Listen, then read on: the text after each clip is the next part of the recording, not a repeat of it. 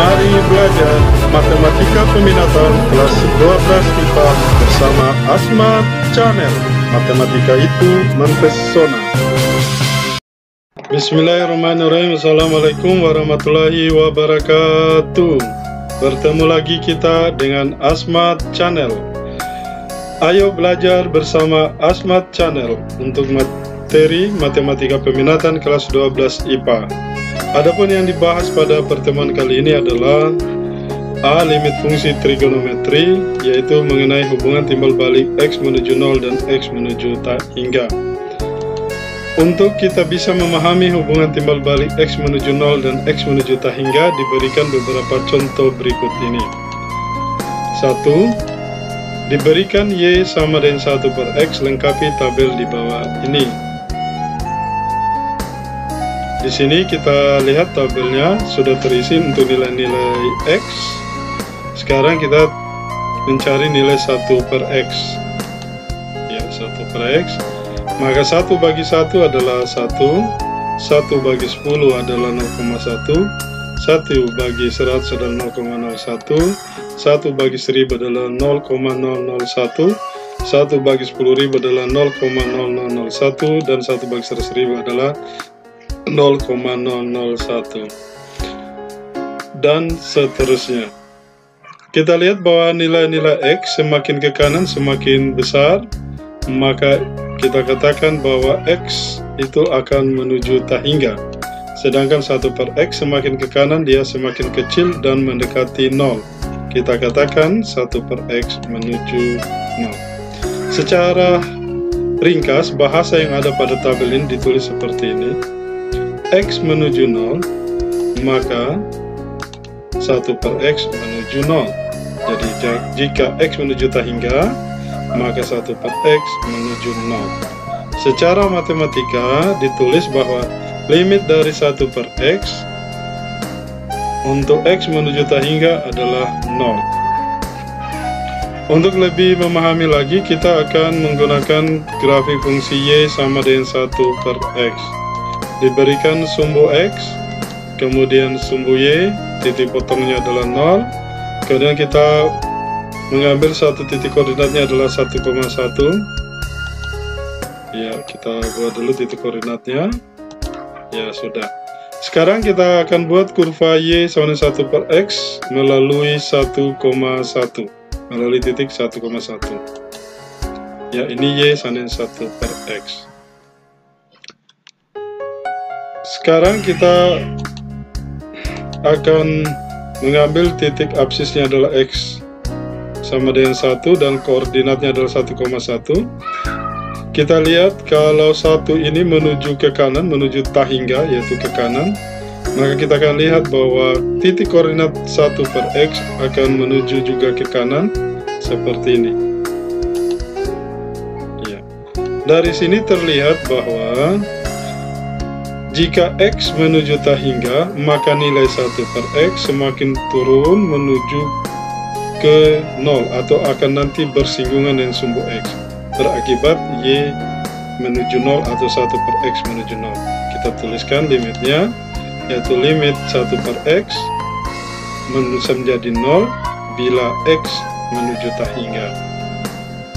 Baik, bentuk ini bisa kita umumkan seperti ini bentuk umum. Satu ini kita ganti dengan suatu konstanta bilangan besar apa pun. Kalau dibagi dengan X yang bernilai tak hingga itu juga akan mendekati 0 atau sama dengan 0 kemudian kita umumkan lagi K dibagi dengan X pangkat N. Jelas? Ini nanti semakin besar bilangannya dan K dibagi bilangan sangat besar atau bilangan sama menuju tak hingga itu juga akan mendekati 0 Baik, kita masuk pada contoh kedua. Diberikan Y sama dengan 1 per X, lengkapi tabel di bawah ini. Kita lihat bahwa nilai X-nya sudah ada yaitu dari 1, 0,1, 0,01, 0,001, 0,0001, 0,0001, dan seterusnya. Maka kita akan mencari nilai 1 per X, 1 bagi 1 adalah 1 kemudian 1 bagi 0,1 adalah 10 ini adalah 100 ya, jadi 1 bagi 0,01 adalah 100 1 dibagi 0,001 itu 1000 kemudian 1 dibagi 0,0001 itu 10.000 dan di sini kita dapatkan 100.000 dan seterusnya kita lihat bahwa X semakin ke kanan nilai-nilainya mengecil semakin dari 1 mengecil menjadi 0,1 kemudian mengecil lagi menjadi 0,01 yang secara intuisi bahwa X itu nantinya akan menuju 0 sedangkan 1 per X yaitu semakin ke kanan nilai-nilainya semakin membesar dari 1 menjadi 10, menjadi 100, menjadi 1000, menjadi 10.000 dan seterusnya. Artinya 1 per X itu nanti jika X mendekati 0 maka dia akan menjadi tak hingga ini lebih kita ringkaskan bahasanya adalah jika X menuju 0 maka 1 per X menuju tak hingga ini kesimpulan dari tabel ini. Secara matematis ditulis seperti ini limit dari 1 per X untuk X mendekati 0 adalah tak hingga baik diberikan suatu bentuk uh, grafik. Ini sumbu X ini sumbu Y. Ya pertengahannya adalah 0 kita titik koordinatnya 1,1 kita bentuk dulu. Ya maka dari sini kita akan buat kurva Y sama dengan 1 per X di mana melewati koordinat 1,1 ya Y sama dengan 1 per X sekarang kita akan mengambil titik koordinat 1,1 ini dengan absis X-nya adalah 1. Ya, sudah. Kita ambil titik ini, maka di sini nanti kita akan lihat bahwa 1 mendekati 0.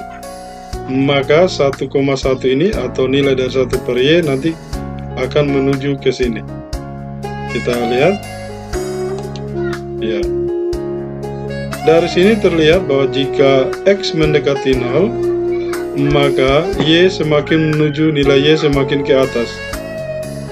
Maka ini kita dapat gambaran Y semakin menuju tak hingga, artinya 1 per X menuju tak hingga. Sehingga kita nyatakan limit dari 1 per X jika X mendekati 0 itu adalah tak hingga. Ini kita bisa bentuk umum, yaitu limit K per X, X menuju 0 itu juga tak hingga, di mana K itu adalah suatu konstanta, bilangan yang terbesar apa pun juga ya ini jika dibagi dengan 0 itu akan menuju tahiyat ini kita umum lagi bahwa limit dari K per X pangkat N untuk X menuju 0 juga tak hingga ya maka dari semua apa yang diuraikan dari awal tadi bisa kita buat suatu kesimpulan di manakah hubungan timbal balik X menuju 0 dan X menuju tak hingga perhatikan kesimpulan berikut. Nah, dari sini lihat. Bisa kita analisa bahwa untuk fungsi 1 per X, jika X-nya menuju tak hingga, maka hasilnya 0. Tetapi kalau X menuju 0, maka 1 per X-nya menuju tak hingga. Jadi, yang menghubungkan antara X mesa menuju 0 dan X menuju tak hingga itu adalah fungsi 1 per X dia dikatakan timbal balik kenapa? Karena kalau X menuju tak hingga hasilnya 0 tapi kalau X menuju 0 hasilnya tak hingga. Itulah dia dikatakan mempunyai hubungan timbal balik. Demikianlah penyampaian atau materi kita pada pembelajaran kali ini. Mudah-mudahan siswa sekalian dapat memahaminya. Dan ini sangat berguna untuk pembelajaran-pembelajaran berikutnya. Baik, dengan Asmat Channel, Matematika itu mempesona. Assalamualaikum warahmatullahi wabarakatuh.